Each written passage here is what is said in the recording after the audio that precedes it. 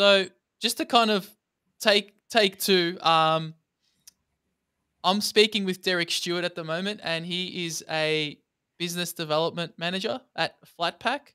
Is that Flat Planet? Flat Planet, sorry, Flat Planet, sorry. Um, how long have you been doing that for at the moment?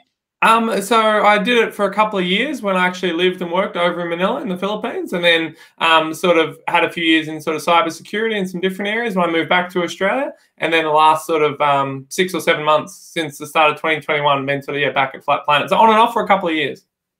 On and off in a couple of years. All right, and kind of bringing it back, uh, we were going to play a bit of trivia, um, and it the trivia is going to be tennis tennis related. You can't be serious, uh, man. You cannot be John serious. McEnroe on the call as well here, but uh, we, we, we're going to do a bit of tennis trivia. So uh, the first question is, and these questions are going to get more difficult as we go on. So the first are going to be pretty easy, but the first question is, what type of material are tennis balls covered with? Um, wow, I, I don't know what the actual material is. I've uh, hit a lot of them back in the day, but no, um, I'm not sure what is it. Some is it uh some Yes. it, it wouldn't be um sort of uh, cotton. It would be some sort of uh, artificial. Um, hard to guess. Is it almost like a, a what do you call like a synthetic sort of wool or what would you call it? I'm Yeah. not sure. Felt. Felt. Okay. Uh, during a tennis match, if someone has a score of love, how many points do they have? Zero. That's right. Of the Grand Slam tournaments, which was established first? Uh, I don't know for sure, but I'm going to guess Wimbledon. Which was established in 1877, followed by the US Open. This one's a bit more tough. Uh, the longest singles match in recorded history. Who was it? Uh, who was it played by? Um, I, I think I remember my dad talking about it a long time ago. Was it uh, Ivan Gulagon? I don't know who they were playing. Um, maybe the in the seventies, and it went to like fifty to forty-eight or something like that, or was it the seventy-five to seventy-three? I, I remember hearing about of the epic fifth Uh, set that kind of went, or, or am I way off base? Uh, I think that might have been second, the second longest, but uh, we, we, we were looking for John Isner and Nicolas Mahut. Okay, yeah, Um, no idea on that. So yeah, that that was uh, that lasted 11 hours and 5 minutes over 3 days. But um yeah, that's enough about trivia. Uh, I thought I'd just something creative, something a bit random. So um yeah, thanks for playing. Yeah, no. I, what did I get? Two out of four, I think. Or so. We're not keeping track. I mean, it's just Oh, to good. kind of get the uh, the creative juices going and get the brain kind of thinking a little bit. So, Mhm. um, kind of digressing a little bit. And you were a personal trainer at one stage in in your life. How has personal personal training shaped your life? Not in the literal sense, but how has it shifted your internal perception of the world? Yeah, no, that's a really great question. So actually, I guess it would make sense if I explain how I got into it. I, I was sort of, you know, an athletic kid growing up, but then in my sort of teen years, I went from sort of five foot tall to six foot tall in about a year and a half. So I had a huge sort of puberty growth spurt. And while I was sort of growing, you know, I guess the body's very hungry and it sort of wants to be fed. So I sort of, you know, overate uh, to an extent and was a big eater, actually gained a lot of weight and ended up quite heavy. And then at the end of year 11, I, I, I was actually 115 kilos. I made a New Year's resolution, year 12 of all years when you're studying and, and trying to sort of work hard and focus on that to lose weight. So I got a gym membership for the first time, learned about nutrition. I lost 35 kilos in uh, in year 12 and um, I think 16 inches off my waist. So huge transformation. And then um, afterwards, you know, I wanted to help others to, you know, and obviously everyone asks you, how would you lose weight? What'd you do? What's the secret? And, you know, teach me. And I was very deep in that sort of world. So while I was at university, I was actually running a fitness business. Um, and that's how I was a personal trainer for three years. So I think the, the meta lessons were really about behavioral change because that's really what it comes down to. Like fitness is the vehicle and the behavior, eating, sleeping, stress, nutrition, exercise, people are trying to change. But the real meta lesson is on human psychology, uh, behavioral change, habit formation, um, sustainability of habits. A lot of people can do something for 30, 60, 90 days, but it has to be sort of sustainable. Otherwise, you're going to gain the weight back or go back to the bad habit or quit the intense workouts or whatever you're doing. So I think the meta lessons were, um, you know, so human behavior, psychology, um, habits, um, and, and then there were other lessons about running a small business that were sort of, you know, I could speak on too. But is that is that sort of what you're looking for? Yeah, I mean, there's a lot to unpack in there, and I think you touched on this thing that I'm a bit curious about habit formation because it's very tough these days to either take up a new habit or get rid of an existing habit. Do you mind speaking more into that, into that side of things? Yeah, no, absolutely. I, mean, I used to have these discussions with a lot of the clients and, and people I was training at the time where people would get very focused on what's the best type of exercise. And, you know, the fashion, the fitness industry is a bit like the fashion industry. Zumba's popular, then it's uh, F45, and then pole dance, then CrossFit, then jumping on a trampoline. And, and people always chasing kind of what's the next exciting thing. And, and people would say, oh, I hate going to the gym, but everyone tells me I have to lift weights. That's the best. And I'd say, I'd always ask them, I'd say, do you have time for all the things you want to do? And I'd say, no, I, I want to learn a language. I want to play the guitar again. I want to spend more time. And I said, well, if you don't even have time for the things you want to do, how are you going to make time for something you don't want to do? Oh, and going back to that behavioral change, that's where I really shifted away. Because when I started, you know, you, you, geek out on this sets and reps and exercise and calories and macros, and, and you realize compliance, you know, good advice not followed is bad advice, and compliance is actually the most important. So I'd say, but if you hate the gym, but you love you know, salsa dancing and, and that's energetic and you're willing to do it a few times a week and then do that. Like don't don't go to the gym. If you hate it, don't torture yourself. Yeah, some people will, will grow to, to like it over time once they learn it or or they might enjoy it. But you know, do exercise you enjoy, or if you enjoy rock climbing or walking or bike riding or whatever, I could argue this is 10 or 20% better, but if you don't do it, it's 0% better. So, whereas if you love playing tennis, go play tennis, you know, and, and obviously nutrition, other little habits as well as food. I hate this food, I can't give up this food, and then I'd, I'd work within that framework. Whereas if I give a, a a goal that's so unrealistic. They hate it. They hate their life. They hate those foods. Well, they're never going to stick with it. And that's that behavioral change, psychology sort of stuff where you can only torture yourself for so long before you burn through your willpower and you sort of give up and stop. So it's got to be sustainable. And part of that is people have to enjoy the process. Um, otherwise, yeah, they're just going to quit and run out of willpower to, to torture themselves after a point in time.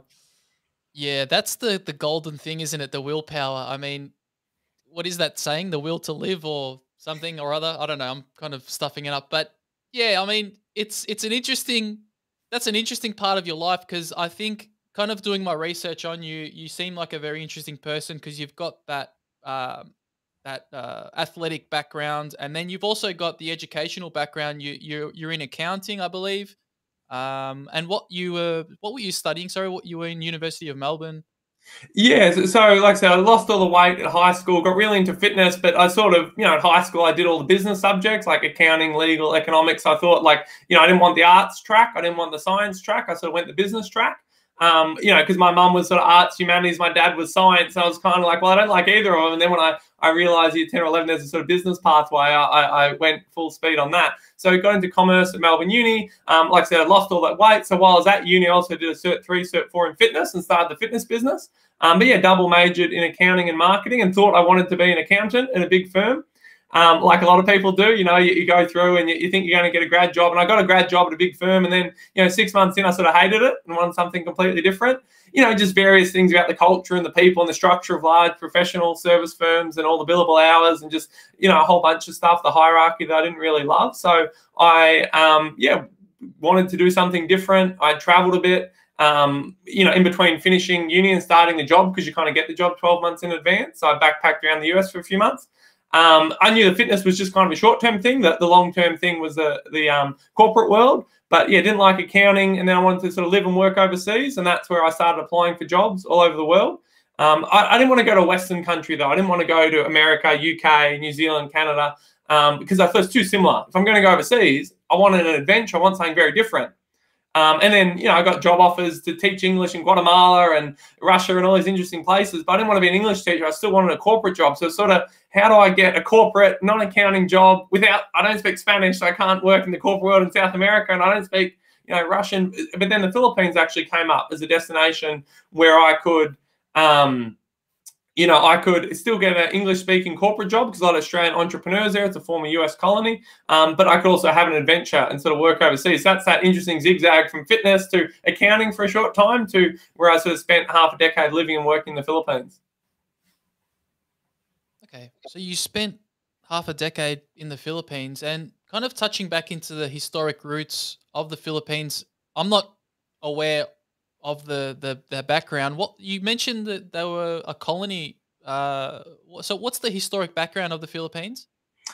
Yeah, so I think they were sort of Spanish colony. Magellan, if you remember Magellan from your history books, the first one to sort of circumnavigate the, the world. So the first one to prove the world wasn't flat when he, he sailed and, and sort of was able to come back because that was a big debate for a long time. You know, because you look at the horizon and you think you just fall off the edge. But um, can I just sorry, can I just intercept you? Sorry, uh, I do have a. I'm just going to cheekily plug my podcast. I've got a flat earthing podcast. I just thought I'd throw that in there, but um, sorry, sorry to sorry to cut you off there. Sorry. Yeah, no. So, so there's some still surviving flat earthers, but um, it, it, sounds like you've interviewed some, which are always a great chat. But um, but yeah, that was a big debate, and, and again, I might make some historical mistakes here. My understanding is Magellan was the first one to actually go around world, Spanish guy, and um, he actually died in the Philippines. I went and you can see the, the place in, in Cebu where he died and the cross, and it's sort of a lot of history there. But so actually, I think in the the 1500s, sort of a, a, Spanish colony, like a lot of South America, for about 300 years.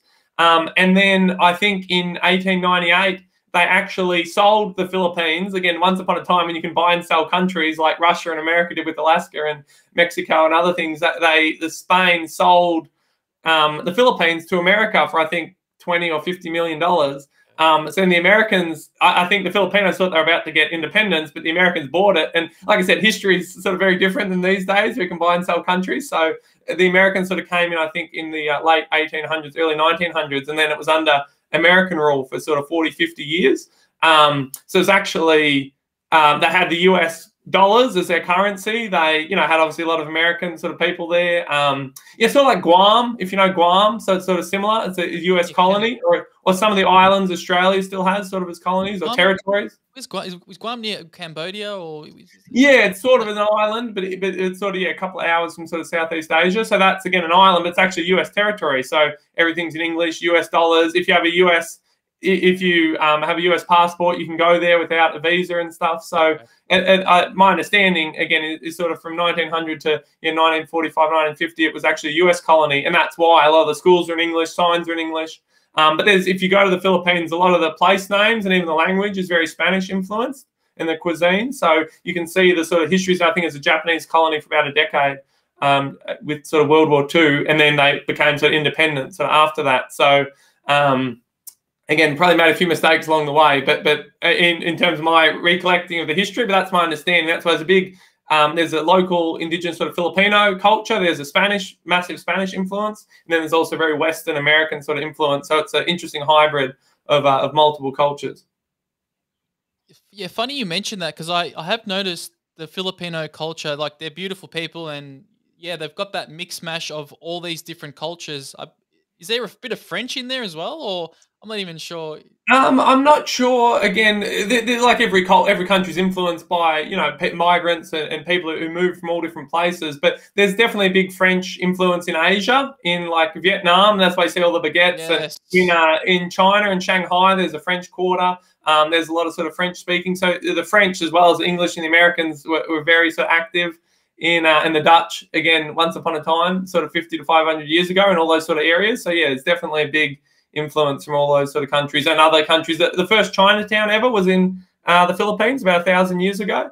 Um, right. So there's a, a, big Chinese influence, and then I think there's some um, sort of the southern Philippines is sort of Islamic sort of area as well. So there's that sort of influence too. So it is a, a mix of a whole bunch of different countries and interesting historical, you know, artifacts and you can even see uh, Japanese fighter planes that are stuck in mountains and hills and tunnels and things like that, and World War II submarines you can scuba dive through at the bottom of the sea in, in the Philippines. So huge amount of history um, in the country for sure. Okay, and taking it back to your your working career in the Philippines. So what you were you in charge of outsourcing for your company, or yeah, what was the the background story into that? Yeah, so, so like I, said, I was looking for jobs overseas, and you know, I had my criteria. Not you know, Western country, but also a corporate job, which I said was hard. But then the Philippines came up as an opportunity, and there was an Australian company that interviewed me. Um, and it was a Skype interview at the time when Skype was the, the best in sort of video conferencing technology back in 2013. Um, and they liked me one or two rounds of interviews. They said, When can you get here? I said, Well, you know, in about three weeks. And then never been to Asia, but bought a, a one way ticket, packed a bag with a, a, job and a visa in hand, because that's all you sort of need, again, in, in a pre COVID world to, to, live overseas. Once you've got a job and a visa, you figure out the rest when you get there. Um, and it was essentially a six month marketing internship, which is just, you know, an all rounder, do a bit of this, do a bit of that, kind of help out, learn the business. But it was great because I, um, you know, I learned all the ins and outs of sort of the industry, the business, um, as an entrepreneurial sort of growth company. Not Flat Planet. This was a different company, which I think isn't around anymore. But um, but they were the ones who sort of brought me over there, and that's where I sort of met and, and still friends with people from there. And uh, the first person who hired me is not the CEO, but he was sort of the, the sales director. So I learned from him, and then after about six months, they absorbed me. So originally, I thought, well, worst case scenario, if I hate it in six months, I can go home, and you know, it'll be a fun experience and a fun story. But then I liked it and settled in and, and enjoyed it, and then they offered to sort of absorb me on an ongoing basis after that internship. And I spent another 18 months. It's more business development, sales. So again, the Australian clients used to fly over and would visit, would chat and do things like that. Um, and then I would fly to Australia and sort of handling more sales. That's where I really got into sales as a sort of a profession, business to business or B2B sales. Um, learned a lot from the, again, the CEO at the time, who was an excellent salesperson of B2B services. Um, and then moved to sort of Flat Planet in, in, sort of 2015 and did more process improvement, operational sort of roles. Um, and then now I'm in Melbourne doing business development for Flat Planet again. So that was sort of yeah my entry into the industry and and the early roles and and how I transitioned out from being sort of an accountant to, to what I'm doing now. Okay. Sounds like a very interesting journey. And you touched on the idea of sales. You mentioned that your boss was a was a good salesperson. What why why do you think he was a good salesperson? I think one of the big things I learned from him was the ability to sort of sell invisible or intangible things. So when you've got a physical product, there's a lot of benefits. A car, house, you know, real estate person say, here's a house, here's a thing. And it's like, oh, okay, okay. And but there's a fixed price, there's a fixed product or a car. It's like at the end of the day, the salesperson's important, the experience, the quality, some you know, bad salespeople put people off. But at the end of the day, you're going to have the house or the car for, for years or decades. If you never talk to the salesperson again, it doesn't really matter. In sort of business to business, where you're selling, you know, business services, um, especially if it's an ongoing nature, um, it, it, really matters a lot more the relationship and the commitment and the idea and things like that. So it's not just, oh, I've got my car, I don't care if the person was obnoxious, now I've got the car, I'll never see him again. It's sort of, so the relationship's really important, the trust, but also what he was very good at was selling um, the future in a big and exciting way. So I would see him have a you know would be in the boardroom there and, and would have you know the CEO of a company and and he's you know entrepreneurial CEO and he was very good at kind of quickly slicing what their business was, what their challenges were, and then getting them super excited about a big future vision. Well, what if you did this? And what if you did this? And we can do this and we can do that. And by the end of the, the one hour meeting, they were basically ready to, you know, write him a $500,000 check to provide all these sort of services and things like that because he got them so interested and excited and he opened their mind. Um, and once he saw they were sort of that entrepreneurial, open-minded people. And then they were so excited and engaged, like, well, where do I sign? And they wanted to just sort of get started. And then some of those things with services, maybe we didn't even actually have at that point, but then he would go and, and sort of organize and get them sort of going.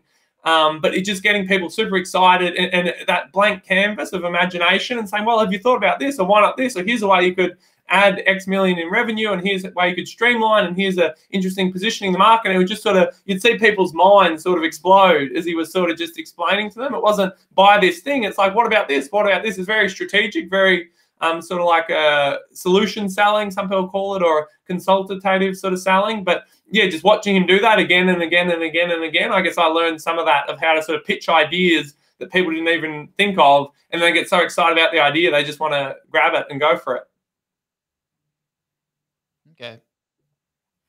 Oh, that's interesting. Okay, yeah, the salesperson. Yeah, um, uh, well, it, actually, it's funny you mentioned that because I guess my journey onto this podcast, I've, I guess I've trying to learn how to become a better salesperson, a better promoter, a better marketer, and yeah, there's all these little tricks and trades and, and things you can pick up. And I guess I want to just share one learning, one lesson yeah. that I've learned on my journey, and that's uh, you never want to go for the hard sale. Hmm. Um, mm. I mean, I'm not an expert. I could be wrong on this, but uh, look, I, I figured that you, you can't. It's very difficult to hard sell hard sell somebody uh, who you don't really have a relationship with. So I yeah, I'm trying to build now. I'm on a, in a stage where I'm building relationships with people, and um, I have maybe if I have a product, it's there. If they want it, they can have it. You know, they know me as Kristian Buddy, or they know my podcast, and that's where I'm at at the moment. So I just find it interesting. Um, sales. Yeah, no, and I'd agree. Like I said, there's some things it's very transactional. It's a one-time thing. Like I said, you know, often like buying a house, something like that. Um, you know, but so some again, not to throw sort of real estate agents under the bus, but some of them will sort of push because again, once they get the deal, they're sort of gone. And they might never see you again, or maybe ten years later you're buying or selling a house. And at the end of the day, the person's really buying the house. They're not buying your advice, your services. But even having said that, the really, really good real estate agents who do well do not push people. They don't hard sell. They, they get a good result because they know the long term value is a person refers their friend, their family, their kids, their their colleague, their cousin. So they get future sales and referrals, maybe they downsize, they upsize, they move locations, they move interstate, they buy an investment property, they sell an investment property. So some people might say, well, yeah, I got the sale, but well, you lost the next 20 referrals after that because you pushed too hard, you made them feel pressured, you rushed them, you you you uh, sort of steamrolled them too much versus someone who you know is still assertive and um, helps and gives advice and is um, gives a tough love or harsh feedback when they need, but also guides them, they're going to get the next 10 or 20 or 30 referrals. So I think some people come in hard, get good results in the short term because they kind of front loaded all the results, then they've burned all the bridges and there's no future referrals, relationships, um, things like that. So I'd agree. And, and then if it's an ongoing service, again, if you sort of pressure into that, a lot of people don't want an ongoing relationship with someone who doesn't respect them or they feel that isn't listening or pressures them or things like that. So, like I said, you can kind of get away with it, transactional sort of one time or, or small items, or if someone just wants the item, you don't care if you're you're buying a, a suit and the, the the retail salesperson's pressuring you, or you need the suit, and then you're just not going to go to that shop again. But you know, but if that you did a great experience, they might you might come back for your next suit or refer your friend or again buy other clothes there. So yeah, I'd always sort of emphasize not sort of hard selling and building a relationship and considering the long term lifetime value of the relationship and the future referrals, repeat business, and not trying to just sort of suck out all the value um, and, and maximize the short term at the expense of the long term. Absolutely, yeah.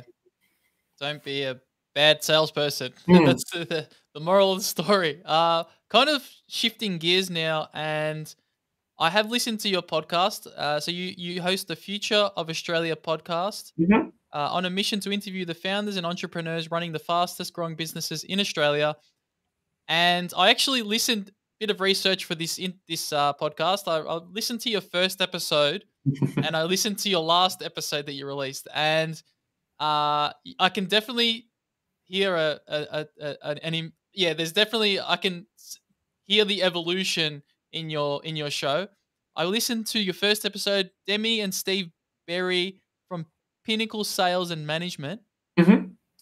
and then I also it's it's not your latest episode, but it's one of your newer episodes. Ben Hutt from Evergreen. Mm-hmm, mm-hmm. I really enjoyed listening to, to Ben Hutt. I, I found that he had um he had a when I was listening to him, he had a sense of experience. Uh, he's a hard he sounds like a hardworking entrepreneur. Mm.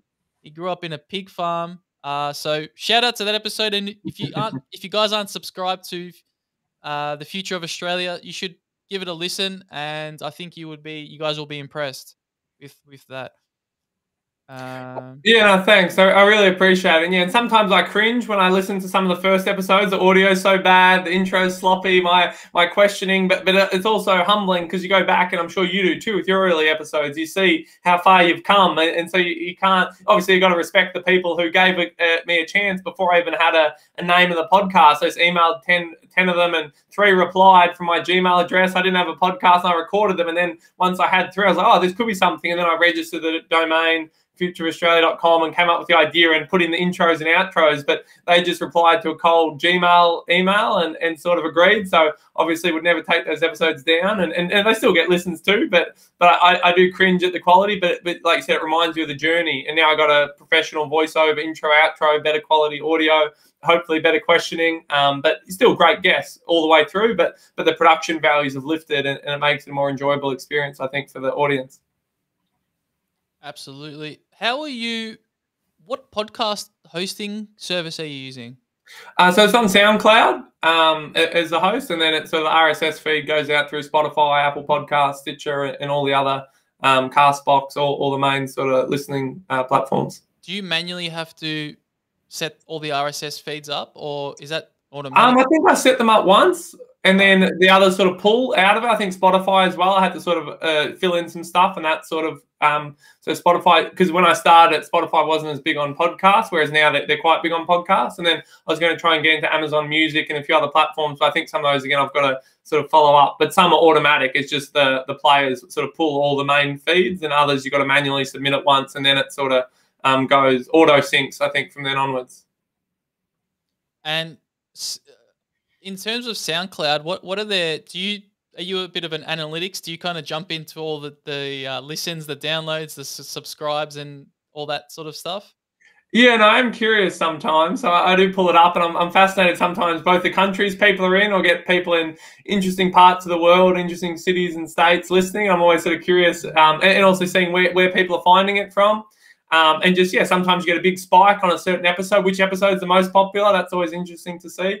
Um, so yeah, I, I, do sort of look in the panel once or twice a week out of just curiosity, really, and seeing the the growth and the listener numbers and geographies and um, episode popularity and things like that. So it is uh, it is a bit fascinating to, to delve into. Are you? Do you have any paid advertising? No, no, I've been approached by some Blinkist and some of those other ones that are doing a huge amount of podcast sponsorship. Um, I've thought about it, but at this point, yeah, I haven't really put any paid sponsors or affiliate sort of stuff on it. It's just me at the moment. Uh, uh, uh what about paid marketing to promote? Do, do you do any paid promotion? I know there's like so you can promote your podcast on Spotify or Facebook ads or something like this. Is that something you've tried before? No, I mean something I've thought about, but at the moment it's just been fairly organic. I post on LinkedIn because again, sort of business audience is the main one. I've got my email marketing list. Um, I post on Facebook. Um, you know, when uh, I'm able to do guest podcasts, that's always great as well. I'm writing a book, extracting out some of the lessons this year uh, of the all the people I've interviewed. I'm going to use that book as a bit of a promotional tool because then obviously it's sort of it's from the podcast, and if people want to hear more of the stories, they can listen to the podcast and I think sometimes a hard thing as well is a lot of podcasts grow by featuring on other podcasts, and then they sort of I come on your podcast, you come on mine because mine's quite niche. Like I only interview the the uh, Australian Financial Review, the AFR's Fast 100. I can't do a lot of sort of reciprocal guest appearances. Um, but I think once I have the book, well, then I can go to talk about the book and the podcast, and it's sort of I'm going to use that as a bit of a strategy. And then in the future, yeah, I, I might even play around with some paid ads or, or other sort of promotions and things like that um, or boosting in, in Spotify or other sort of um, channels. So, is that something you've delved into too much for your podcast? I have not delved in it at all, but I am thinking I'm considering it now uh, because mm. it's just for me it's difficult the organic reach it's just not enough and my ultimate goal is to monetize the podcast. It's a big, very difficult for me. I, I feel like it's difficult. Some maybe some people may say it's easy, but I, I think it's yeah, it's a big stretch. Well, I think you get good organic reach on, on YouTube. So if you're putting this on YouTube, that's really great. But podcasts, yeah, discovery is really bad. You have the top 100 list, but say you listen to an episode of my podcast or someone other business podcast, it doesn't like YouTube says, hey, up next, or it auto plays, or you might also like this, or TikTok or other sort of streams are very good at that, or LinkedIn will put things in your feed. But podcasts, you just listen, that's it and there's no uh, eventually spotify might take over the whole market um, but there's no sort of what's next and, and, there's no way to it's very hard so it's very hand-to-hand word of mouth referrals and friends of friends and, and, and sort of manual labor to build a podcast i've found. Like so youtube i've seen some big ones on youtube and then they, they take the audio out and, and then it gets a lot of things like uh, you know joe rogan and and others, or some people have a big brand like a Tim Ferriss or uh, Michelle Obama, or other people they've already got a big brand and they have a podcast, and obviously a lot of people look them up and, and, see it, or they've got a big blog and a big email list, so they can sort of push people to that. But growing from scratch, if you haven't got the audience or the, or the brand name, and if you haven't got the algorithm sort of boosting you up like a YouTube thing, um, I think that's hard. Also, the other thing I, I, find like there's no comments. You can't comment on a Spotify or Apple podcast, right? So you don't get that community building. Whereas YouTube shows, even if they're only on YouTube, and they're not even a podcast, but the comments and the audience, or if it's a uh, on a website or a blog, that sort of audience interaction helps a lot. And then people link to that. And there's value, and, and you can get a better sense of what the audience is wanting. So definitely a few sort of limitations in the podcast infrastructure, I suppose you'd say. But eventually, it might get to the point where Spotify has better discoverability, shareability. Um, you know, the ability and, you know, things like that, or comments and other things. But the moment, the best ones I've seen have either been famous and then sort of built it, or they've used YouTube and, and built a YouTube audience. And they also have an audio version for people who aren't on YouTube much. Yeah. This podcast is actually on YouTube as well. It actually started off as the Kristian Buddy Show on YouTube, and I've kind of morphed into podcasting now. Mm-hmm. So, yeah, it's podcasting's an interesting thing. I had uh, previously I had Nick Schildberger on the show. He's he's the owner of Sound Cartel uh, mm-hmm. in in Hawthorn, and he's he was an interesting guy to speak with, and he, and he mentioned the idea of uh, if you want to become a general show or a niche, mm. um, you're you're doing the niche. But I, I, I mean I still haven't really found my footing on whether where I'm going. I'm kind of I know you kind of I'm going against the grain because they all say you should be niche, I mean, I, I do the podcast because I reach out to people hmm. who I'm interested in. Um, if I want to learn about history, I, will get a historian on. If I want hmm. to learn about uh, tennis, I'll get a tennis player or something. So it's kind of for me. I'm I'm a bit I'm a bit greedy. I'm, I'm kind of getting things that I'm interested in, and hopefully, hopefully, my audience will, will see the same. No, I'd say that's uh, honestly probably the best way to do it. Like I've been listening to podcasts for 10 plus years since they were sort of very new. And I always would hear all these great business stories, but always very North American focused, which is great. And there's great stories and, and characters and people over there. And obviously it's a big market and big sort of media presence. But I wanted to hear from you know Australian fast growth entrepreneurs and what's happening here and what people are doing here. And I looked, I couldn't really find one. And then, you know, Flat Planet itself was on the Fin Review Fast Starters, I think, uh, 2015, 16, a couple of years there. And then uh, some of our clients were also on the list. And I thought, oh, the, the Fin Review puts out this fantastic list of the 100 fastest growing new and established businesses each year, but they only get a nanosecond of attention. Then the Fin Review goes back to sort of the big corporate world. And I thought, well, I, can take this list and I can reach out to them and have a chat to them because I'm curious. But like I say, the better way to, to network instead of saying, hey, I want to have coffee with you and you're super successful, say, hey, do you want to come on my podcast? And then people a lot more receptive. And I, I get the learnings that I want and the podcast I wish I, I could listen to and I, I have. But then you get to share that with other people. Because if I reached out to um, like Adam Schwab, one person I had, fantastic guy, uh, Luxury Escapes, so one of the fastest growing um, new businesses a year or two ago, travels, obviously probably been hit a bit with COVID, but went from zero to 350 million turnover in um, you know a couple of years. So super successful business. And I emailed him, said, Hey, can you come on podcast? By then I had, you know, 15 or 20 episodes. Two minutes later, he said, Yep, sure, no worries. And I came by his office and sat down with him had an hour of this one of the most successful sort of entrepreneurial CEOs in Australia. You know, whereas if I just said, Hey, you know, can I pick your brain over coffee or, or whatever people say, he'll probably ignore it. But this way I get to have an hour face to face, and then other people benefit from that episode and his insights and he's written books and he's, you know, done a heap of interesting stuff. Um, so you're right. It's a great networking tool. It's a great, you know, scratch your own itch, curiosity tool, and um, you, I think you can always specialize in the future. If you, but if you have general interest, there's no harm in in having general audience. I think there's an audience for people who are, are curious, and like say even like Joe Rogan, he, he has sort of themes, but he'll have comedians, mixed martial artists, politicians, business moguls. You know, he'll have all sorts, of athletes. Um, all, all sorts of, uh, of people on his show. And again, you can't use exception always to prove the rule, but I think he follows his own curiosity and and uh, you know, and, and so does Tim Ferriss. And they had there some themes, but they're quite broad and, and not sort of narrow. So I definitely say, yeah, don't stress being a, a generalist if that's what you're into. All right, thanks for the advice. Thank you, yeah, because it's kind of always on the back of my mind. But uh, I'm just kind of sick of. I'm, I, I don't want to. I'm going against the grain, and that's it. I've made my mind up. But um, kind of bringing it back to that idea that you had about the book, uh, mm. I'm, I'm I'm interested to hear what's been the the commonality between all these uh, entrepreneurs that you've interviewed. Is there any common element that they all have that you can share? Yeah, no, a lot, a lot of themes that, that emerge, and one that kept coming out, and, and one guest, uh, David Bowser from Curio, sort of made a great insight, which is what sort of seeded the idea of the book.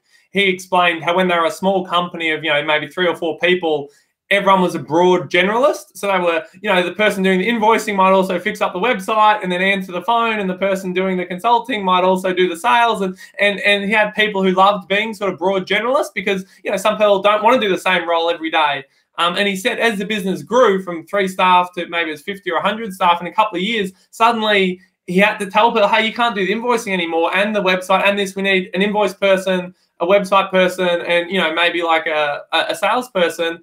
And so he said they went from broad generalists to deep specialists. And he said that, and, and the theme that recurred, but he's the one who kind of named the idea, which a lot of other people I'd interviewed said as they grew, a lot of the team members got really upset. They didn't like the change in roles and responsibility because when you grow suddenly, you know, you, you might fast track 10 years of growth into two years. Suddenly, the pain point was broad generalists and people who liked a small company where there's three people and it's fun and different and you have direct access to the owner. They didn't want to do the conversion to deep specialists. So several almost either the people quit or they had to let go of a huge amount of people and then hire specialists because the people liked being a generalist. So then they went and joined other early stage companies where they could be a generalist. And someone who's a specialist who's doing all day, you know, payroll or invoicing or digital marketing, they didn't want to be given random ad hoc tasks. So, and then some of the smaller firms, when they bring someone in from a big company, because big companies are usually full of deep specialists, because you can't have everyone running around being a, generalist at a big four bank um, they wouldn't want to work in a small company because they don't want to do five wear five hats. So that dichotomy between the, the broad generalist and the deep specialist, and the fact that some people actually love being a, a, generalist, and that's fantastic. But then they shouldn't work in big companies, and some people love being a specialist, and then they're often best in sort of specialist roles. So the theme of the book, and, and there's more sort of to it, but um, that the size of the business matters a lot. Whether you're an employer who you're hiring, are they going to fit? Do they want a generalist role? Do they want a specialist role? Do they have they worked in a five person, fifty person, five hundred person company before? But even for you as the reader, if you're an employee, I'm going to have a whole chapter and insights about well, don't just think about oh, I want to be a lawyer, I want to be this. Well, you know, working for a five thousand person law firm is very different than a five person law firm. So, like some friends, you know, work at a couple of big banks or big consulting firms. Oh, I hate banking or consulting or accounting, but really they just hate giant firms. But if they're in a smaller firm, they might actually like it. Um, and, and, it was also the idea, it wasn't from the podcast, but the idea also came to me where there's a friend of mine who was in a Sydney sort of fintech company and there's about 500 staff, so sort of mid market firm. And he really liked it. And he just had, had two of his best software developers quit on his team.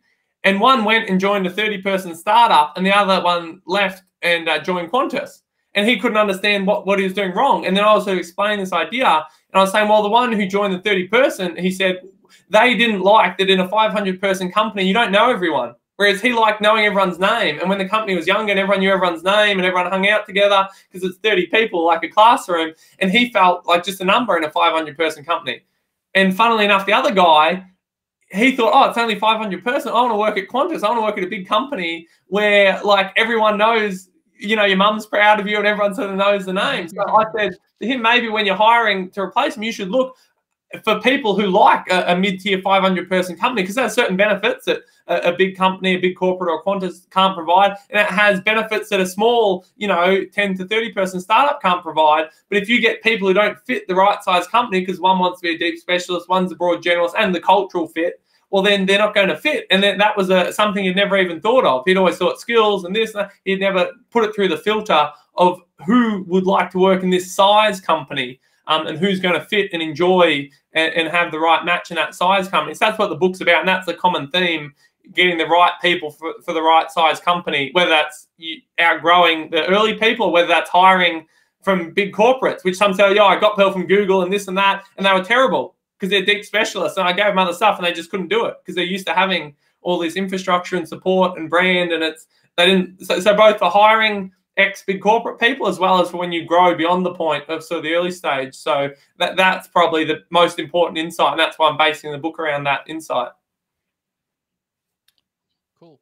Yeah, it is definitely true because I hated working at for the bank, and that, that might have been proven by their termination of me. Actually, I was I didn't really say this publicly, but I, I, was terminated there. But I mean, that's another that's another story. So, but, so would uh, you consider yourself more of a broad generalist, and you didn't fit in yeah, in the world uh, of big specialist?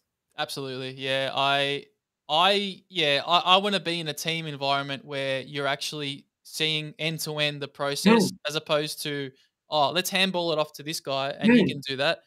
Oh, who who who who who deals with sales? Oh, let's just handball it off to yeah. Mark in sales I hated that. I I want to be from start to finish with the with the customer or the end hmm. user, mm. and the bank just had a a way to just scrutinize metrics, over scrutinize mm. metrics, and yeah, I, I didn't I didn't like it.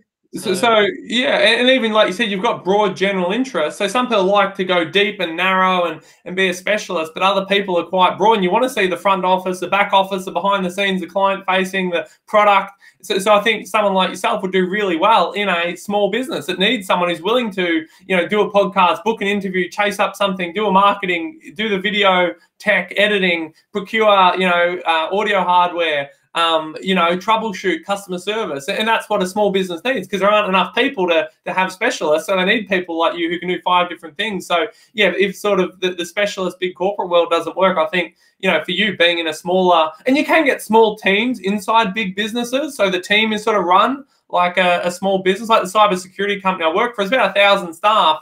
But in Australia, it was three. So it actually was like a small business inside a big business. So there's a lot of multinationals that are quite big in the um, you know, like working for even working for Facebook in Australia would be a lot different than in America. In America, there's maybe 20,000 staff. I don't know, in Australia, maybe there's 200. And yeah, you're in a big system and a big machine, but you're sort of a remote outpost and a remote office. So, um, whereas like a, a, bank, obviously an Australian bank, the headquarters is here. But if you were in the, um, like I know a lot of the banks like, you know, HSBC and others and, uh, you know, overseas banks, they have a presence in Australia or even Vanguard. So someone like there, you might have had a lot more autonomy and freedom. Well, maybe not, because sometimes it's all done by the headquarters. But you would be like a small business inside a big business, or again, just working for a genuine sort of uh, small business with less than maybe thirty staff. You would they would welcome your willingness to take on extra stuff. Whereas in a big company, they say, hey, that's my thing, or hey, that's not on my job description, or don't cross that line, or that's a different team's responsibility, or um, you're not allowed to do that. Whereas in a small business, oh, you want to help with the customer, you want to go out in a sales call, you want to help pack the equipment, you want to help, you know, design the product, you want to do customer outreach or market uh, research calls, or you want to fix up the website, you know, go at it. And and they sort of they're, they're eager to take people who are um, willing to to extend beyond their job description if they even have one in a small business. Whereas in a big business, you do that and it's sort of they uh, they quickly slap you back into line. Yeah, they they know how to slap you back into line. I, I, I learned that firsthand, but. uh and again, some people love big corporates, so it's nothing against big corporates, but it's it's more like when I mentor sort of uni students and, and the alumni I sort of work with, I always say it's all about self awareness. Like, do you know who you are? And, and this is one framework as well as personality and other things I sort of take people through and I say, you know, because some people love, they love doing one thing, going really, really deep, being a deep specialist. And if that's the case, they should work in a big company or a very specialized role in a big company. And other people, again, love, like yourself, different things, variety, being a generalist. Um, and again, maybe in the future, special, but maybe you won't, right? But you know, it, but you have to know who you are. Otherwise, it's not the big companies wrong. It's not the small companies wrong. They are who they are. They always will be that way. But you have to think, well, what size company do I want to work in? Because that I think has a bigger impact than the actual role. Like, um, you know, being customer service in a small business versus a big business, I'd say almost aren't even the same role. Um, you know, they're completely different roles, right? Because the scale, you know, like a five person company versus a 50,000 employee company, it's almost not even the same role.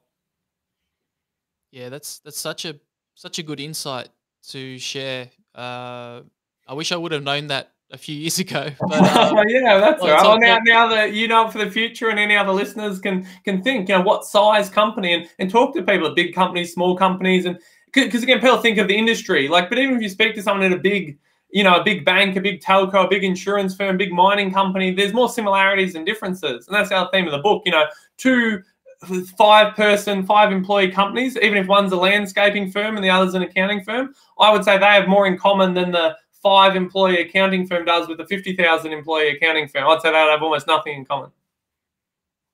Yeah.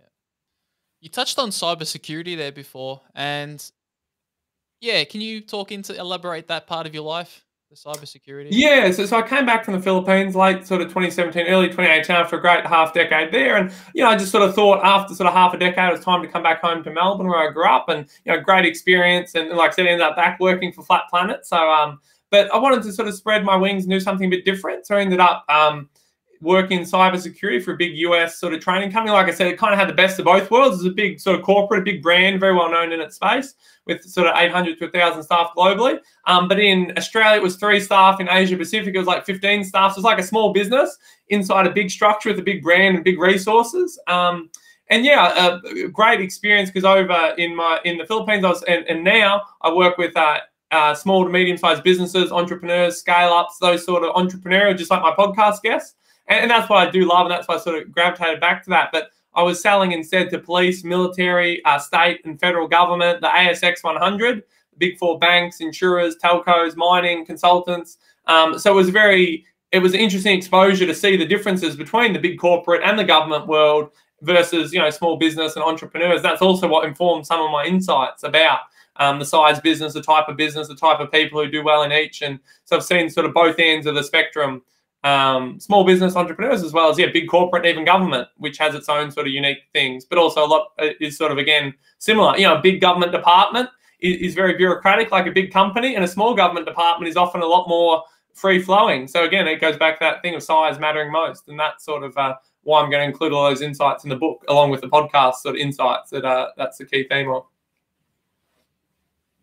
Sounds exciting. Yes, I'm I'm I'm pumped. I'm pumped. I'm waiting for the release of the book.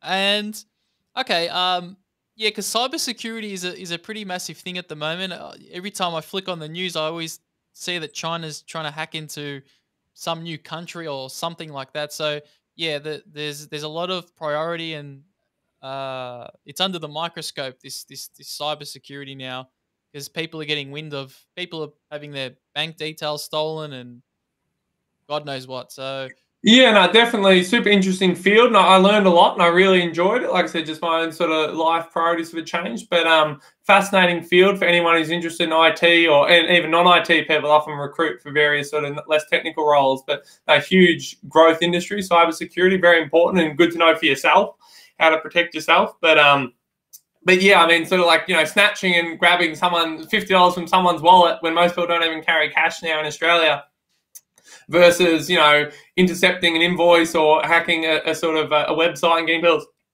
Banking details you know you could steal 50 million dollars versus trying to again push someone over grab their wallet or handbag and, and steal 50 dollars. So it's just sort of it's it's no comparison now the scale and complexity of the, the hacking and fraud and financial stuff and other sort of stuff that goes on these days and the risks. What are you curious about now? Um, yeah, no, I think um, always very interested, like I said, entrepreneurial um, growth. Um, the podcast again is called the Future of Australia because I wanted a broader, like I didn't call it, you know, Australian fast growth businesses. I called it the Future of Australia because I do. I'm not 100 percent clear, but I do have maybe a vision to in the future expand it out. So again, I guess in some ways I started more specialized. In the future, I, I may or may not sort of generalize it, but even then, I think by interviewing the fastest growing new businesses, I'm very curious about, you know, what industries are growing well, what geographies are growing well, what what types of businesses and business models are growing really well. Because in my mind, well, if they're a three-year-old company that's gone from zero to, to 50 million in three years, there's a fascinating hidden growth story that people haven't yet caught on to there. Obviously, they've captured a segment of the market or an industry or a trend or a business model. Um, and, and they've gone off like a rocket ship. And, and that's I'm very curious, I suppose, in some ways about the future. What's the future of the Australian workforce, the Australian economy, um, geopolitically, culturally? So I suppose in, in a lot of ways, I'm sort of, as the name suggests, I'm very interested and curious about the future of Australia. Are there any insights that any other insights that you can give out to the to the public? Uh, where uh, where are, where's the general direction of businesses going in Australia? Uh, I mean, it's a pretty broad question. Um, I'm happy. I'm happy for you to take the stage and take it anywhere. Yeah, no, and I do look at trends um, across the companies. Like you, you realize, obviously, how much of the Australian economy, for better or worse, and you could debate both sides, is connected to the property industry. Um, so on the surface, people see property prices and buying houses and stuff like that. But I think I once did a, a bit of a, a, quick analysis, and so about 40 of the 100 fastest growing new businesses were property related, whether that's mortgage broking, buying property, um, buyers agents, um, investing in property, um, architecture, construction, construction recruitment, fit out companies, um, engineering. So, so if you take the broad, I guess, umbrella of property, you understand how many businesses, even non-property businesses, all sort of um, benefit off that trend of sort of property um, in Australia. And that's, you know, again, if you understand that, then you understand why the government's always very sort of pro-property on both sides because you know, so much business is depending on. It's not just the real estate agent or the home builder, uh, and like I said, that are off on the fast growth list, but it's the mortgage broker, it's the the custom kitchen renovator, it's the you know someone else who's supplying you know stuff to the property industry. So, so you realize interesting trends like, oh wow, there's a lot more. Like everyone knows properties, everyone loves sort of property in Australia, or a lot of people do, but but you realize how many sub industries sort of feed off that.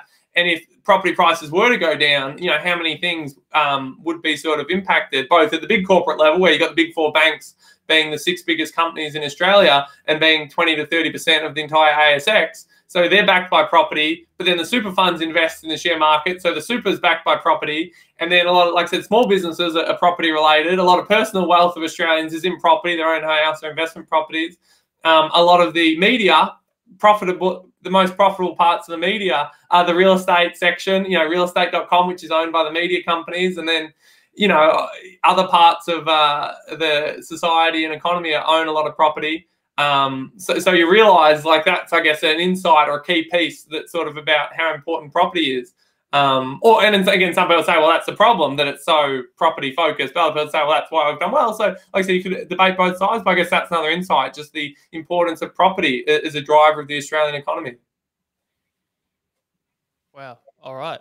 Well, we're coming up to about 50 minutes. I think I might put the pin in it there. Uh, it's been it's been fantastic speaking with you, Derek, and I've just got a uh, your details have flashed up on the screen there. So that's the Future of Australia podcast. You guys can check that out. I've actually put a, a link in the description for this episode, so you can check that out. And um, any final messages for the for the guys listening at home? Just a you know massive thank you, Kristian, for having me on the podcast. I love what you're doing. I love, like you said, that you follow your own curiosity. You, you got a, a, interest instead of just kind of reading about in a book. You try and get people on your show. Um, you have a chat to them. You ask good questions. Like I said, I love the creative energy and fun that you bring, and, and, and like I said, the questions. So keep doing what you're doing, and um, yeah, just amazing work. And thanks for having me. Thanks, guys. Thank you. Thank you. Cheers.